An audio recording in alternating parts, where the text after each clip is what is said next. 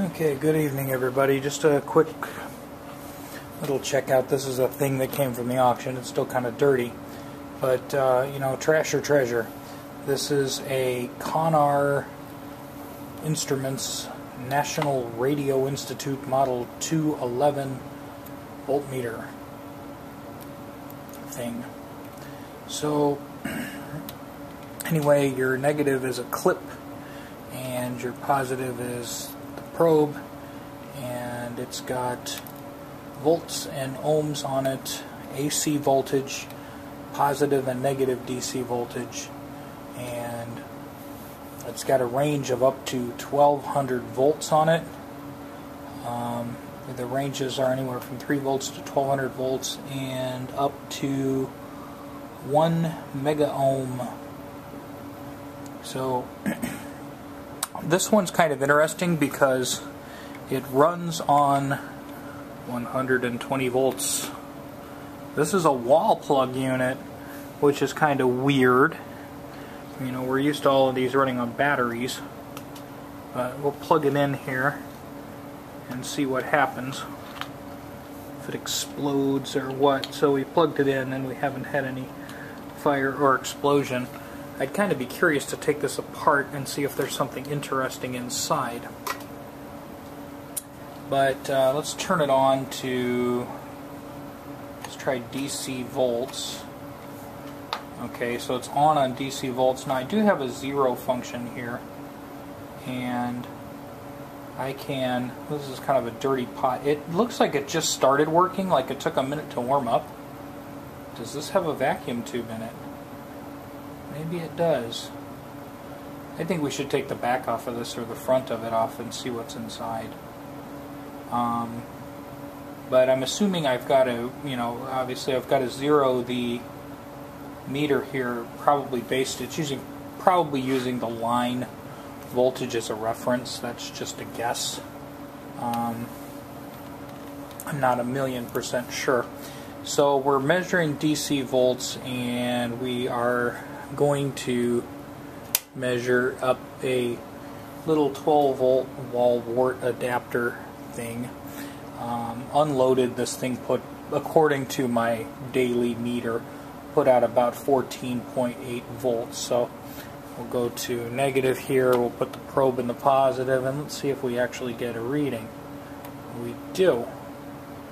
And our scale, we should be between 1 and 30. So wait a minute. No, we're at 30 at the peak, so that would be 3.0. So what are we reading here in DC volts? This is supposed to be a 12 volt adapter. Of course the negative just slipped off. Maybe this is loading it. Now this seems to have moved. My needle is not at zero anymore. Hmm.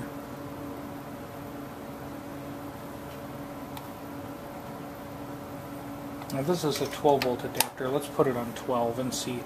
It should peak my meter. But this is this thing may load the circuit a lot.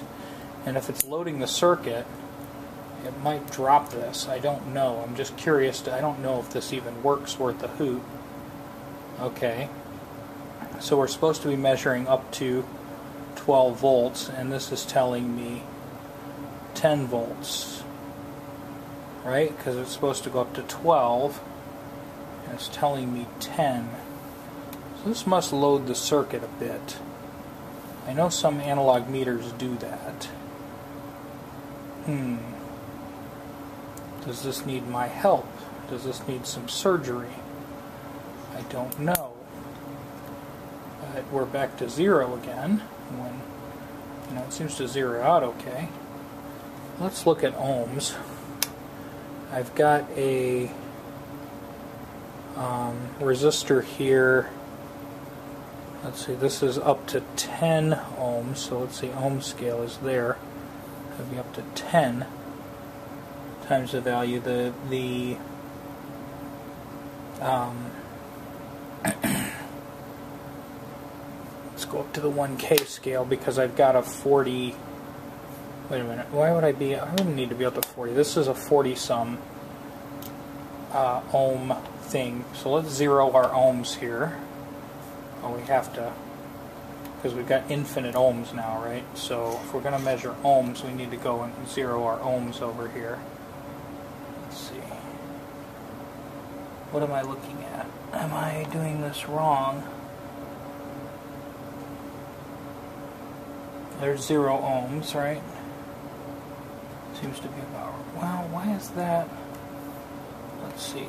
This side is the zero for the needle, and this is the ohms adjustment. This one doesn't seem to be doing much, but maybe it's per range. Let's see what it does on a high range. Does it make any difference? Seems to make a little bit of a difference. Yeah, if I crank it all the way up, I do come off of zero a little bit. And there's no mirror. I can tell you what happens. Your camera runs out of footage, memory. Okay, so we've got a 40, this is like a 47 ohm resistor, small value resistor. Now that's weird. Why is it when I took, why is it when I came off of here, now I'm showing, I should be showing infinite resistance. So maybe do I set this, well, do I set this to the maximum? Do I set this over to infinity? I mean, on ohms, when it's open circuit, I should see, you know, infinite, right? Infinite. And then when we close circuit, I should see, maybe I need to calibrate this. Okay, that's approximately zero ohms. Hmm. Maybe I need to look some information up on this thing. Okay, how many ohms am I showing here? I am showing, uh, good grief. This should be about 40 something ohms. And I'm getting crazy tail readings that don't make any sense. So measuring ohms with this isn't working very well at the moment. Hmm.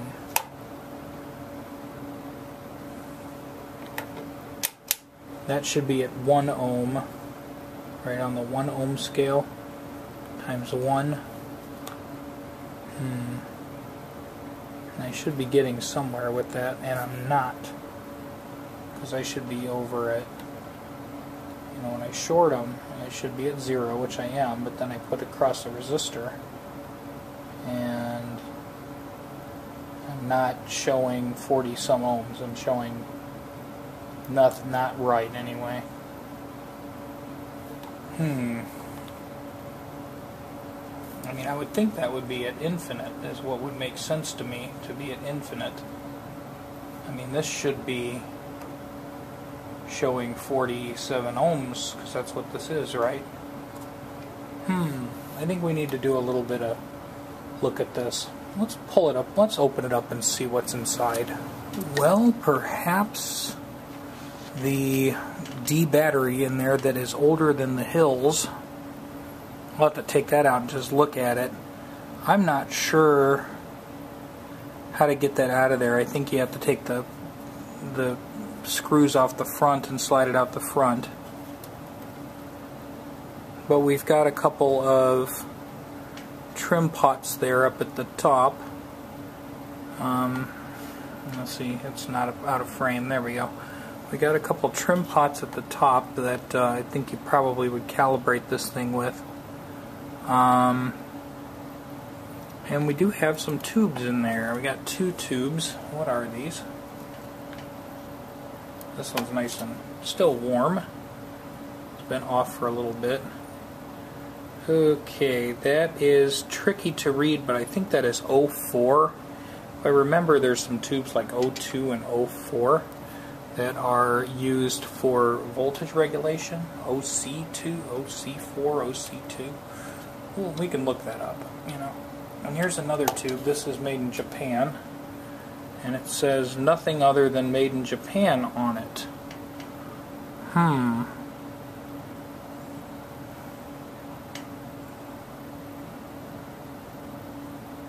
Does, I don't see any other marking on this tube. And I don't see anything written on the base to tell me what kind of tubes those are. Goodness. Well, I suppose this warrants further investigation. Okay, so by removing the screws in the front, you can pull the guts out of the front. Uh, you do not require to take the back off. Um, the battery here is branded Kent. It is made in Japan. It's uh, guaranteed. And the battery is soldered on. It's soldered here and on the other side. I'm sure it's obviously toast.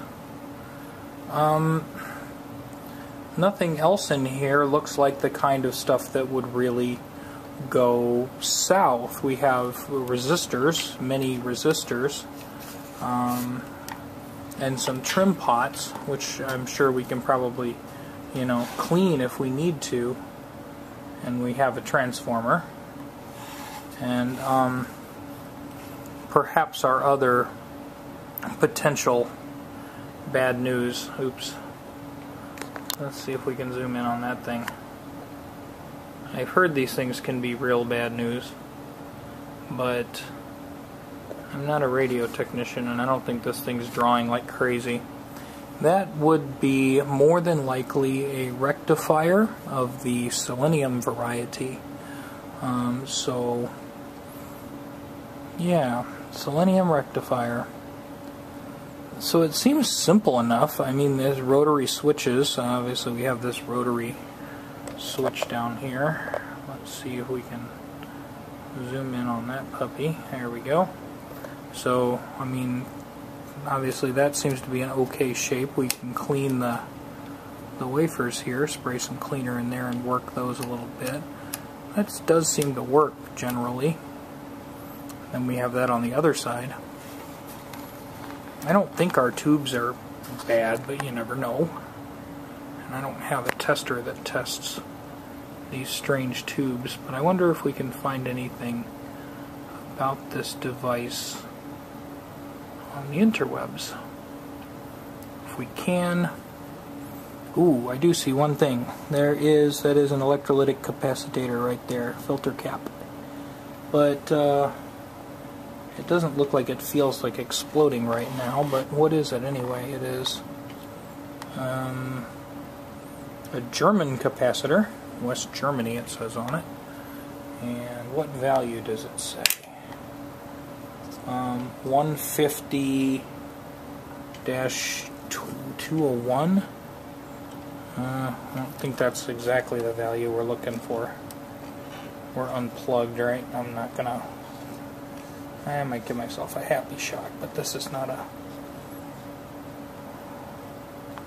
Barconic. And it just says 150 201 on it twice. 150 201. 150 is maybe the voltage, and 201 would probably be the capacitance. 201, 20 microfarad? 20 microfarad? 20 nanofarad. I have to look up what 201 is because I know like on the smaller capacitors they use you know 201, 202. We'll look that up. Let me see if I can find any schematics or anything on this. I'll look for those and then um, you know we'll we'll cut this video off at this point. I just thought this thing was interesting. Um, I've got four dollars in it right now, um, and I think it's kind of cool. If we could restore it, I don't know that I would really need it in the shop here, considering we have for an analog meter, we've already got a Simpson 260. Um, but uh, just kind of a neat, neat old meter, and I do like that it, you know, works off the 120 volts. But uh, certainly right now, it's not giving us anything in the realms of an act, of an accurate reading. And it does have tubes. That's kind of cool. Um, yeah, voltage regulation tubes, I, I think. That's what I think. Anyway, I'm going to go too long. Have a great have a great night, get some sleep, and you know, let me know if you want me to come back to this. I might just, you know, sell it as parts piece or, you know, something. But uh, I think it's cool, and it's certainly worth what I paid for it just for the interesting value. But it might not cost us more than a couple bucks to get this thing rolling again. And it would just be cool to say it's fixed and it works and it's sort of calibrated. We're not sending this to a calibration place, but we'll compare it to our known good meters.